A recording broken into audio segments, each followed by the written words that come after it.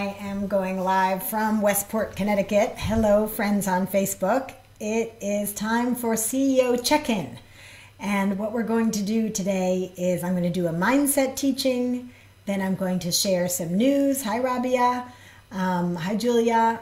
I'm going to share some about relief packages that have been passed for small business owners. And then I'll do some live coaching. So thanks for joining me. Hi, CEO check in. What today is a mindset best practice called Be, Do, Have. And it's a really powerful practice that can be especially used during this time when many of us are thinking about what big changes do I want to make in my life? Now that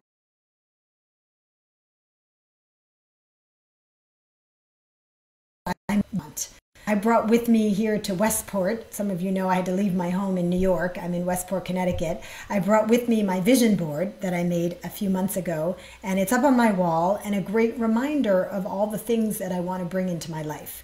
So, for instance, I want to travel more. I want to spend more amazing times with my boys. Um, there's love on the vision board. There's my next book on the vision board. If you haven't made one, this could be a great time to make your first vision board.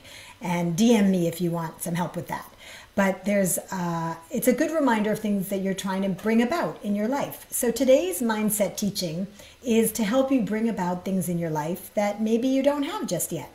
And so it's called Be, Do, Have. And let me explain it like this. And I'll, so I have a podcast on this. Um, in my podcast, Million Dollar Mind, I did an entire episode on Be Do Have. So I'm going to give the quickie version here today. But if you want to listen to the 15 minute teaching on this, just go download my podcast, Million Dollar Mind, and you'll find that episode. So 99% of the planet lives at what I call have, do, be, the opposite of the mindset trick I'm about to teach you. And the way have, do, be works is here's the amount of money I have, here's the amount of love I have, here's the amount of education I have. Hi, Adele. Hi, Kilan. And so, therefore, here's what I'm able to do in the world. Here's what I have, therefore, here's what I can do.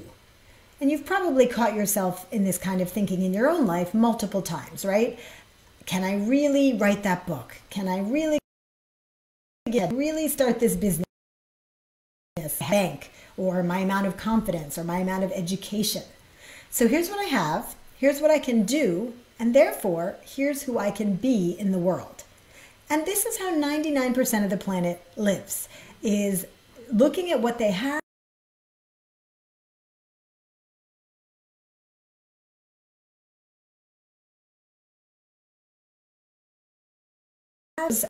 So we invite you to practice what we call be, do, have. It's the opposite of how everybody else does it. And it looks like this. Here's who I want to be in the world. Maybe you want to be a leader. Maybe you want to write a book. Maybe you want to own a successful business. I want to be a leader in my community. So start with who you want to be and get really focused on what that person would be doing. And journaling about this is a great idea. So write down if I were already that person, what would I be doing? And I use this for Million Dollar Women, the book that I wrote. I knew I wanted to be someone who was making a difference in helping more women make more money. Very I'm very passionate about closing the economic gender gap. So I thought, well, if I was someone who had a leading voice in helping women make more money, what would I be doing? And very quickly, I realized, oh, I'd be teaching, I'd be writing, I'd be doing blog posts. So I started doing those things. That's the do of be, do, have. Here's who I want to be. Here's what that person would be doing. And you start doing those things. So in my case, when I wanted to write Million Dollar Women, I thought, well, I'm not famous. I don't have a huge multi-million dollar company. Like, I, who am I to write this book? But I just started doing the things that someone would do who was already making an impact on women and money, the thing I wanted to be in the world. And lo and behold, after a couple of years, I'd been teaching workshops. I had helped 75 women raise a collective $15 million that felt ship with Morgan Stanley. And when I went to pitch my book to my publisher, I said, you know, I have so many proposals on my desk of people who would like to write books about women and entrepreneurship. And I thought, oh boy, here it comes. Here comes the no. because, like I said, I was thinking, well, I'm not famous.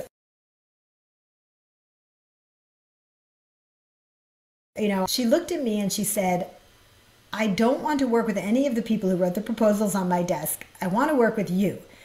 And the reason is you're clearly an expert in what you do. You've been teaching, you've been coaching, you've been writing. So we want to publish your book. And I was offered a six figure advance on that book.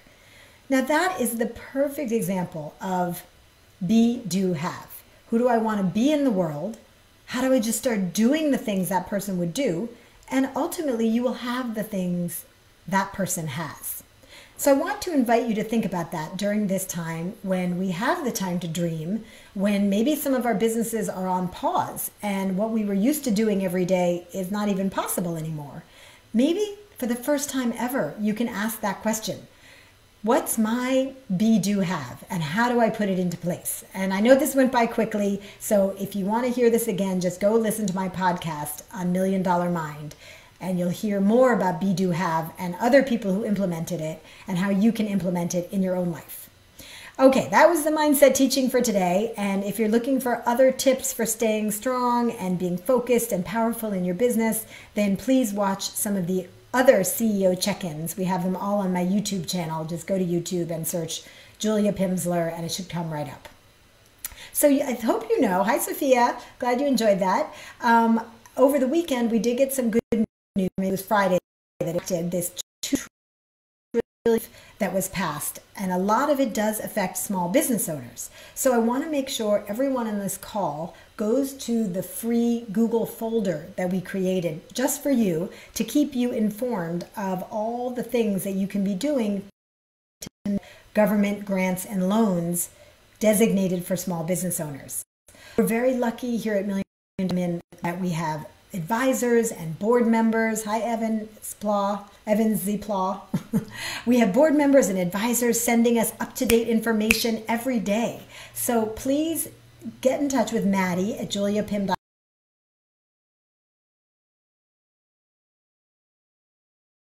is on. You'll find all the latest information there. For instance, there are incentives to keep your employees on. There are incentives that will help you um, pay a lower interest rate on your existing loans that can help you get new loans. So I want to make sure everyone in my community is taking advantage of these. And there, thank you, Maddie, for posting. There's her email. Just email her and she will add you to this folder, which we update regularly. We also have some wonderful partners and sponsors who've put free materials in there that they usually charge thousands of dollars for, like doing a content roadmap for your company. Maybe you are ramping up your social media or your thought leadership during this time and you want a way to organize all that. Uh, Wendy Lieber of Content Bacon, thank you so much. She gave us this really cool tool that she usually uses with her clients and people pay her a lot of money for. And it's in our marketing folder of this free Google Drive folder. So please get in there and start using those great resources. And so anyone on this call who's wondering, you know, what tone should I take? Please look at my emails, borrow whatever it is you like of it. If you miss the old ones, Maddie can send them to you. Just correspond with her because I actually feel it's very important for us as business owners to keep doing business because if we don't, the entire world economy is going to come to a standstill and we are going to be the most heavily impacted, we, the small business owners, if that happens. So, someone said to me the other day, I love this. They said, you know what? Your paycheck is somebody else's salary, right? Your, what you earn is someone else's income. And so, for instance, I've been buying things every day, you know, online, signing up for classes. Just this morning, I re upped my membership to Medium, which is a wonderful online platform with lots of great articles. Because if we all stay frozen, you know, it's a huge ripple effect. So, I would say even more than just, you know, okay, find a way to say something tactful, like, do business, please. You know, people still need your products and services, and you're contributing to the world economy by keeping things flowing. This time to put more work so how can you use this time? Can you get into a rhythm where maybe once a week you're blogging, or maybe it's that once a day you're doing a quick live, or maybe you do hire a Facebook person and you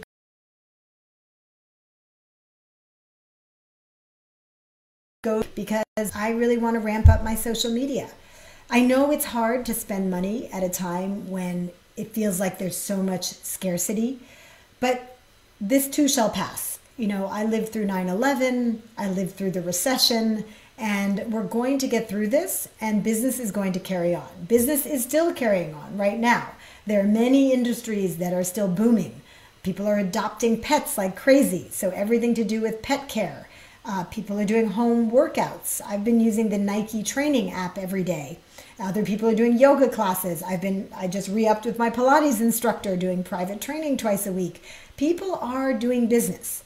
So it's important that we use this time to figure out how can we amplify what we're doing and not retreat, right? This is a time to step up, not to retreat.